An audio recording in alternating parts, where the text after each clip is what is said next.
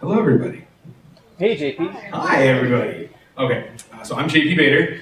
Uh, I am a recovering software engineer. I'm very post-technical, and so my caveats before I even start is uh, I don't get to give technical talks for a very good reason, and I haven't really written production level code because my team, who's laughing at me, won't let me uh, for good reasons. Because you know, it, it's fine. I've been I've been writing code uh, on and off for the last 20 something years.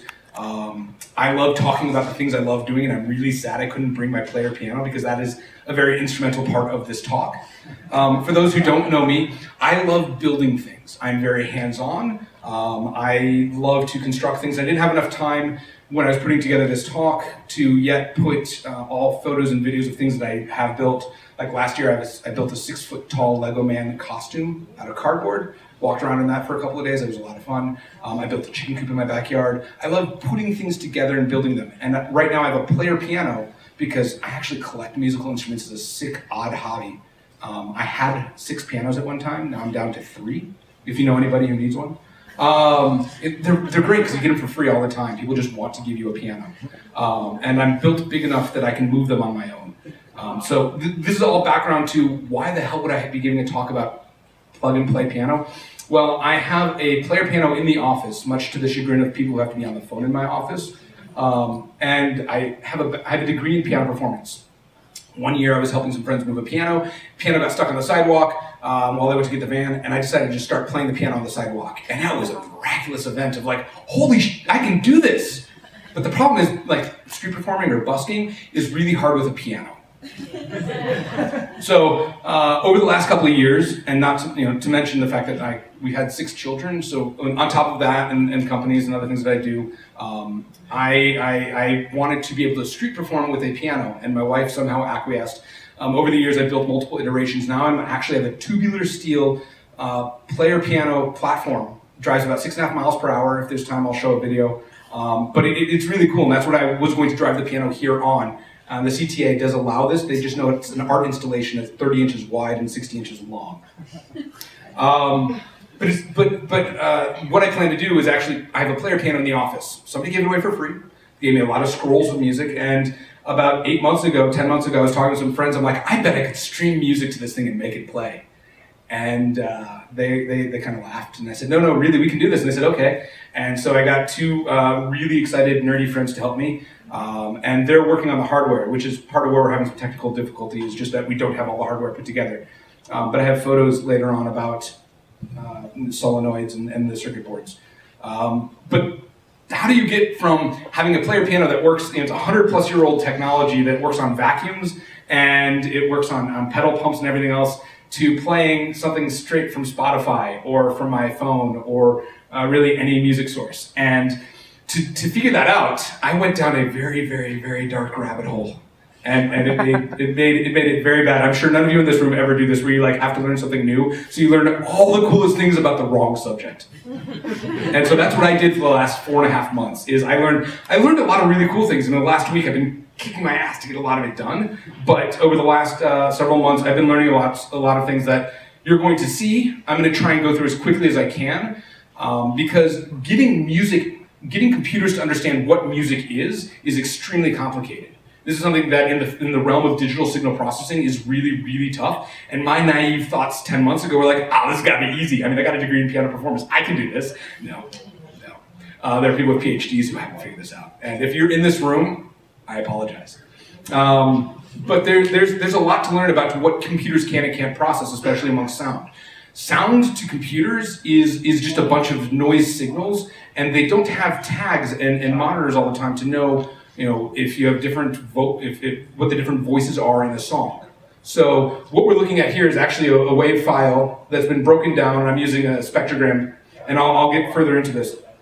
There's a lot of fun tools and a lot of things that I just don't have time to explain. But the way that the computer sees frequency, frequencies are really just mashups of all the sounds I see together. And music itself makes fingerprints, and you can actually suss that out. And we're going to go through how you can train a computer to do that, how you can visually see it. And then we're going to take a, a wave file of one of the songs I really like playing in my band. And you'll hear it, you'll hear all the permutations as we go through trying to just pull out the melody line which is what I would love to be able to play on piano, as well as just converting a song on the fly into a format called MIDI. so we can play it on the piano. Okay, um, so caveats. Um, you will see, uh, you will, I will ruin music for you tonight. You will see certainly bad code, um, and you'll see some very kludgy fixes as I get along. Um, so I, I, already talked about the what and why. Um, really, what would be cooler than watching a piano going down the sidewalk and it's playing? That to me is awesome. Um, and if I can embarrass my children at school, like pulling up to school, hey guys, like piano's just playing some like SpongeBob. Okay, so um, I, have set expectations. This is going to be you know really bad code, but it's it, it's fun is what I've been working on. Um, and thanks to my team for listening to me, you know, bitch about this for the last seven months. So this is what a player piano. This is my player piano. This is what it looks like, and I have other photos that aren't in the slideshow presentation. But uh, as I mentioned, there's a lot of challenges that that had to go into this. Um, the player piano I have is 100 years old. I had to replace all the tubing. Um, I have to replace the vacuums. Um, there's bellows and all sorts of stuff like that. Then I also have to uh, do audio conversion which is, as I mentioned, not, not so easy. And finally, there's the hardware, which, because it's not ready yet, I don't have the player piano. Um, all right. Digital signal processing, this is a huge field. There's a lot going into it, people have been studying it for, for uh, it's been going back a couple hundred years, well, at least the signal processing, not the digital part. Um, a uh, very famous scientist by the name of Fourier, not Fourier, um, Fourier uh, came up with some mathematical formulas that help us now identify what sound signals actually look like. And uh, I have the formulas written down. I memorized them as well, you know, using the sum of um, Euler's to the power of negative 2i p pi. It doesn't matter. Um, there's a lot of smarter people who figured this out. I just took their code and, and algorithms and, and did my best to use it. But the Fourier transform is what allows us to have basically a fingerprint when we look at any slice of sound at any point in time. We should be able to pull apart that signal and using frequency and cycles, be able to know exactly what note or a combination of notes are being put together. Fourier transform is basically like if somebody gave you a milkshake and you wanted to say, okay, what are all the things that went into the milkshake? Fourier transform can tell you the ingredients, but it can't tell you, it can't pull a banana back out of the milkshake. So it, it's, it's really a great way of, of being able to identify what went in, so then you can make a new milkshake going forward. Um, and so I apologize again to anybody with a PhD in, in digital signal processing. Um, okay, so melodic extraction. There's, uh, am I in the examples now? All right, so we're skipping right to the examples because we're a bunch of Pythonistas and we want to see code. So uh, the last several weeks have been just coding, getting past the nightmare of understanding Euler and Fourier and QFT and FFT and SCFT and really every formula that can be put into Markdown. Um, my build, I'm on. I'm doing this all on OS X, uh, JavaScript, Jupyter, Anaconda. Um, lots of different tools that went into this. I've got several techniques that I'm going to experiment and show you what I've been doing to pull sounds apart. Things like blind source separation, semi-supervised non-negative matrix factorization. There's going to be a quiz later on this. Um, there are neural network-based approaches, and I skipped those for sake of my own life um, and there's voice activity detection, so on and so forth.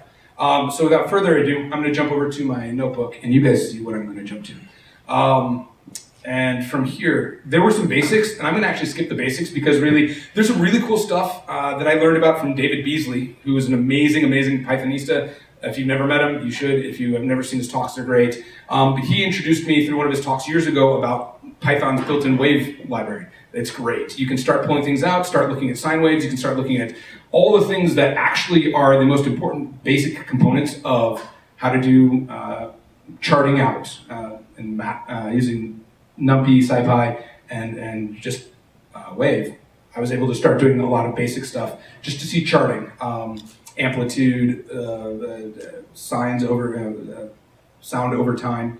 Um, I'll show you really quickly just the last one just some uh, visualizations of this. And hopefully I've run all of these, skip the code.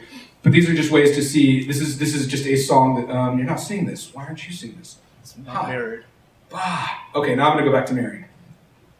Now, okay, because I'm done showing slides pretty much. Um, sorry for that technical difficulty. I'm wondering why you guys aren't seeing what I'm seeing. Okay, there we go. Okay, so this is uh, this is one of my notebooks, just running um, you know audio frequencies. You can see amplitude. This is just a slice of all the sound from one song at different points in time, not in order of time, but just sound itself. Um, and these are just ways of breaking up songs with different channels um, over time. These are different spectrograms that will make sense as I go a little bit further into this. Uh, but again, this is all based on just our basic wave, SciPy, NumPy. Um, you have a lot of things to start playing with.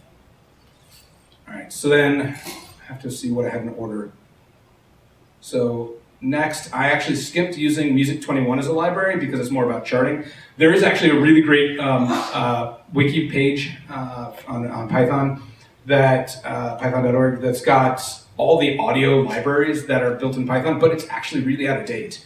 And um, I tried updating some of these that were out there. There's a lot more libraries than I could find on there that I was out there in the, in the real world playing with and, and, and breaking. Um, but this is what created this initial list, and a lot of these things haven't even been updated in three to five years. So part of what I wanted to do is not only introduce how to make a player piano work off of this, but if I can get people interested in saying, that's really cool, I'd like to help make that run better, faster, or just add something new, or maybe they misspelled something on their readme. You can fix it. But these, you know, some of these libraries just need some love. Um, all right, so jump over to Aubio. And Aubio is a fun, it's about pulling melody out of songs, is when you train a computer how to do this, you want a computer to do it, you want to first know how many beats per minute are in a song. This is used to quantize how you get where you, where you start isolating for melody itself. You want to take a small amount of the song, say here are the beats per minute. Inside of that, here's the melody. You want to look for a melody, which is uh, a bit of I, I, used the word velocity earlier, and one of my, my teammates yelled at me for that.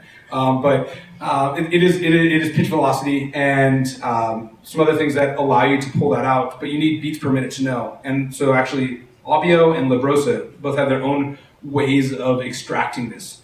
Um, real quick, the song that we're actually testing is Old Dan Tucker. This is uh, Bruce, uh, Bruce Springsteen.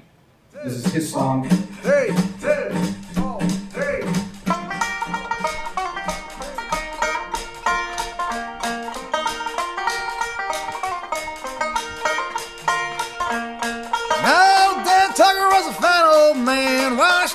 face in a frying pan, combed his hair with a wagon wheel, and died with a toothache in his heel. Get out the way, old I love that song. I play it on the piano with or without the band. It's a great song. Um, so there, there's a lot going on in that song, and to pull that apart, you you have a banjo or a, a, mandolin playing a melody line. You have a vocalist singing a melody line, and then you have a band coming in with harmonics afterwards. How do you pull all that apart and figure out what you're going to actually play in the song that that gives you something that a doesn't sound like a bunch of uh, 88 um, third 88 third graders all each getting one key assigned to them, and they're all told when to play. Because um, that's what it kind of sometimes sounds like, and you'll, you'll, this is the ruined music we'll get to. So first we did uh, inside of. So first I did uh, beat extraction. Um, running this, we got this uh, WAV file that comes out. Um, to create a quick WAV file. This is the first version that comes out. That's what, is this the one that just came out? No, that's not the one that just came out. I'm sorry.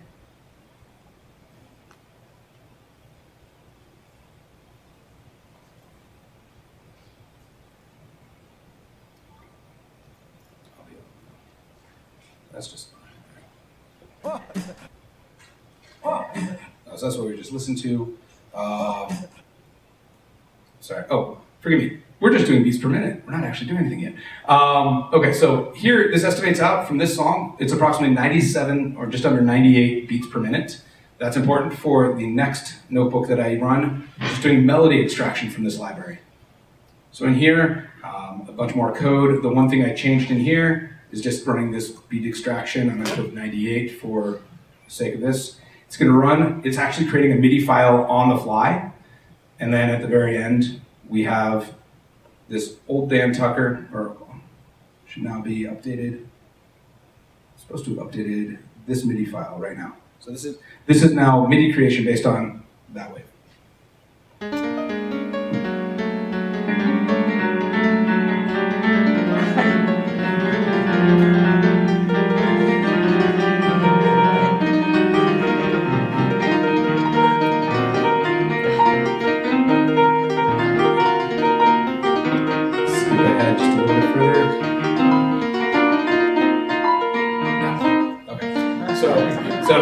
That's how computers try and find melody in there. We, we at least gave it beats per minute. It will get better, the, the, the different libraries we start using. Um, all right, so I'm going to leave yes. All right, so, and we'll come back to uh, in just a minute if there's time. Um, moving from Aubio, I'm going to jump into Librosa. Librosa is a different algorithm for extracting melodies. Um, in here, uh, there's at the very end is beats per minute. And I'll, if everybody remembers, we had earlier uh, it was 98.7 or 97.9, just under 98. When I run this through here um, to, to extract just beats per minute, we get somewhere around, um, and I want to say it's 95. It's within 95.7 beats per minute. So two different libraries doing almost identically the same thing using different algorithms are coming up with a very similar range of numbers uh, to, to help us identify where this song is.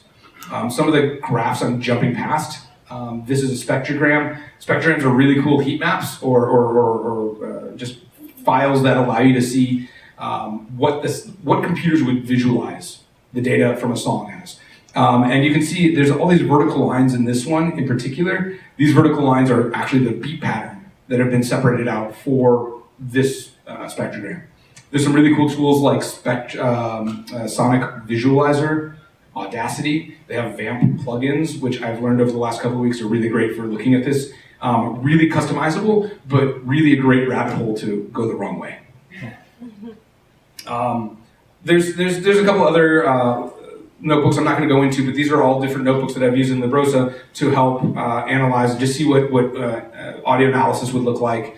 Um, if you're wanting to pull apart more information, more data out of it, um, they are specific library. This one is really great, not just for visualization. I can go further into it about um, pull, doing melody extraction, but it gets it, it, it's not what I want to spend time, uh, the remainder of my time on. Um, let's see. All right, Librosa, jump past. All right, Melodia. Melodia is uh, one of the more recent libraries that I came across that does do some pretty good extraction. Oh crap, why do I have the same one twice?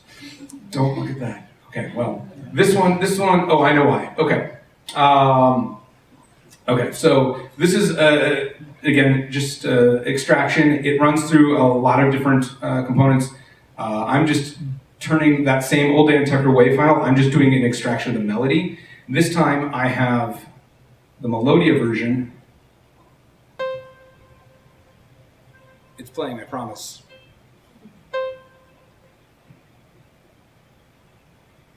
It's still playing, promise. It's just done a really good job at not picking up the non-melody part.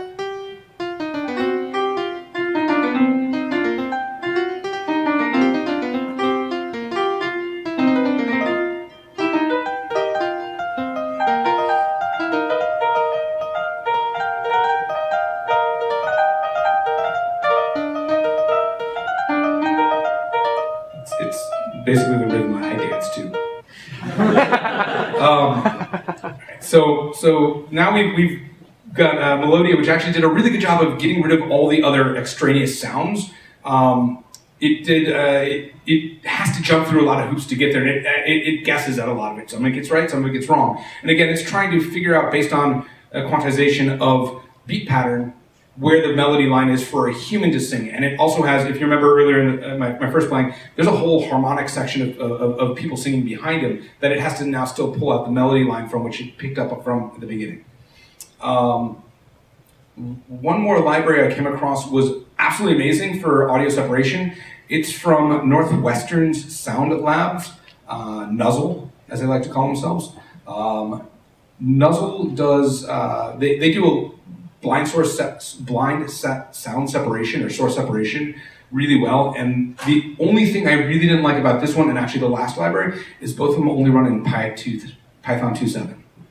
Um, so this is a great opportunity if somebody really wants to help me. Um, I would love to help them get this at least to Python 3. Um, that would be very exciting, um, just because there's lots of things like none type shouldn't be used, just zero, make it an int, it's easy. Um, instead, things crash.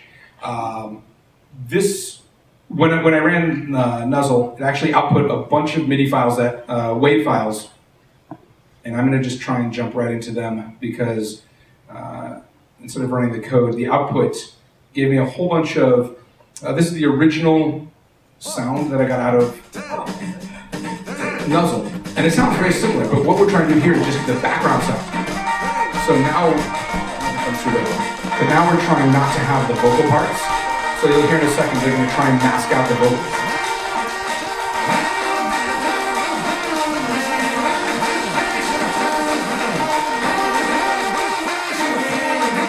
So that's the background. The foreground sounds slightly different. I'm actually going to jump Get out the way supper. Get out the way get your supper. Lot of what it's trying to do is, is reduce the, the instrumentation, the beats. It really just wants to focus on just the, the audio, uh, the melody line, the person singing. Um, I have a whole lot more here that I've actually created, but what I wanted to do is, because I've already taken up a lot of valuable time, um, and again, this is just a dirty, dark rabbit hole that I kept going down, and it, it's I've lost a lot of sleep just trying to present this to you, so I hope it's okay. Um, so thank you all for being this patient and staying awake, because let, let me go, go first. Um, so the, the one of the last things I actually did try is uh, taking the Melodia. I took the, the melody line, what we got from Melodia earlier, and then ran it back through nussl to see if I could marry two libraries together and see what sound I got out of that. And then that was, um, if you'll notice inside of this output folder, I have a whole slew of what was, you know, there's the foreground, then there's the four with the old Melodia nussl. Um, I did, there's a Fourier 2, a Fourier transform two-dimensional. Um, and I didn't go into these. And then there's a harmonic and percussive separation that gives you front and back, um, as well as there's two other nussl libraries called Repeat and Repeat Sim. Those are different ways of breaking it apart. But as you go further and deeper into this rabbit hole, you find that there's better and better algorithms for pulling out the melodic line. The problem is, again, you have to know the beats per minute that any song is going to be doing to do the first quantization. And then second, um, it, it becomes a house of cards when you start adding in reverb, special effects, harmonics, auto tune, other things that are happening that go into production level songs that make this extremely, extremely hard. And so having a kind of catch all, you're looking at just a generic way of trying to put these songs together, and it kind of works, and at least getting the melody out. Finally, uh, I, I came across this one library. Um, I don't even know how to pronounce W A O N. Um, it's not Python, but it does convert songs really well from uh, Wave to MIDI, which made me most excited, and I actually almost cried when I when I finally got this to work. So we've heard, you know, again, this is you know, uh, this is again our, our song that we're basing ourselves on. get it. Get it. Get it. One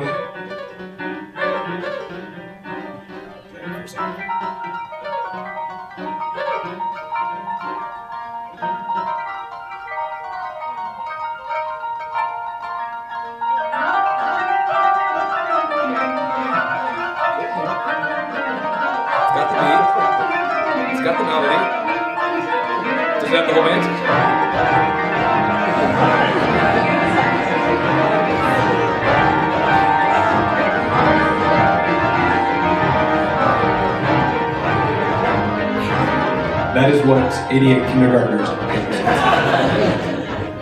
um, so that, that, that in a sense is, is, is um, actually, this, this library itself, WAON, hasn't been touched in almost a decade. And so um, I want to start building some wrappers that I can make this more accessible in Python. Um, you know, any, any kind of hooks would be great to be able to run this. I mean, C, C libraries are great, but uh, they're not user friendly from a Pythonista standpoint. I can figure them out. Um, back in my iOS days, I did a lot of it, but I'd rather not. Um, so uh, again, I, part of this talk was was not only to geek out about how to make a player piano actually play real music, but also to bring attention to some of these libraries that have had no love in a long time. Um, I did almost instantaneously know some of these other uh, projects that I could have gone down even further rabbit holes, like Keras and TensorFlow. Amazing subjects, CNNs, you know, NNNs, all these things are really cool, but it takes a lot to get these to work because to train the models and to go four levels deep, you have to tag a lot of music, like 50 million songs. And if I didn't mention earlier how busy I am with all the children and other projects I do, yeah. Um, but you know, they're, Mido, also, um, clean MIDI. There's, there's a bunch of stuff out there that, that needs just probably a little tweak here and there, and, and we'll start running. Um, and so yeah, some of my next steps, um, being able to either download or stream, even do real time, where I was working on it, where I'd be able to say do re mi fa sol la ti do, and it would play on the piano. Um, th- so these are these are the things that should be happening right now. Um, and if you come to PyCon, you will see it. That's my plug for PyCon. Um, and this is going to be my, my first PyCon talk ever, and uh, I'm, I'm scared witless. You guys are awesome, uh, but I'm, I'm so excited for it. Um, so finishing the hardware. Some of the hardware looks like this.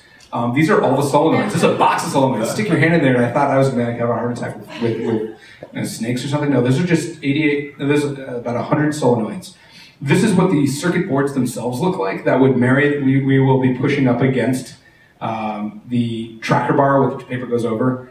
Um, this is the best I can do is show you photos of what this looks like. Um, and then, thanks to all my inspirations, besides my wife, children, bandmates, pianists, um, Brandon Switzer, who, who actually built his own player piano by drilling lots of holes into a piano and built his own solenoid Arduino thing. Um, there's people who've done this uh, amazing things. David Beazley, um, Northwestern, Justin Solomon. Um, that's me. And so thank you all for listening, and I hope you can also participate.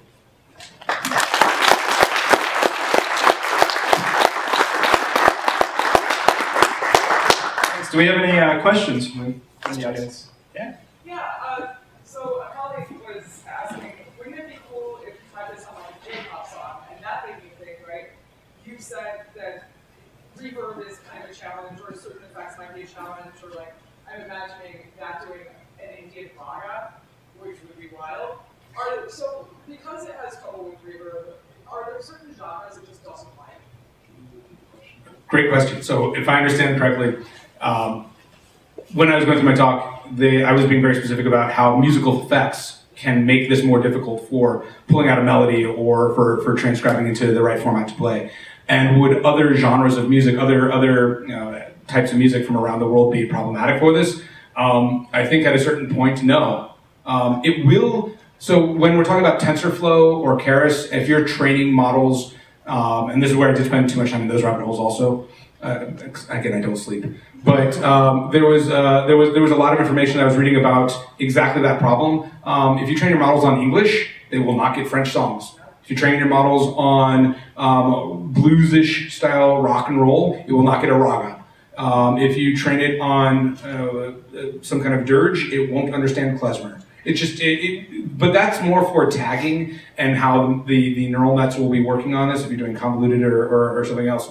Um, that makes it really hard. But if you're doing it for just, I have an audio file, if it's wave, if it, MP3 or wave, converting that, do, running it through the system, if you know what you're looking for, it'll look for things like amplitude and, and frequency and, and um, cycles, but also um, uh, it looks for, and I keep using the word velocity, but it, it's, it's, it's a pitch velocity is what it looks for. And it can pull that out for human vocals because human vocals are in a specific range.